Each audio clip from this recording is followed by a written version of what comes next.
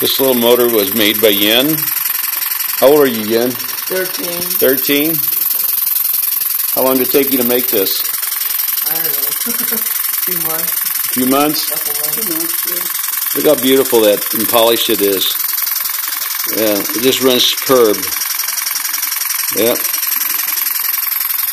You like doing machine work? You want to get a picture of did. him holding the engine? Yep, I got. Come over to the backside. Okay, Hold the engine up there. Tell me a little bit about it. It runs. No, okay. Would you? What? What's the piston made out of? Aluminum. Okay, and then uh, how much air pressure is it running on right now?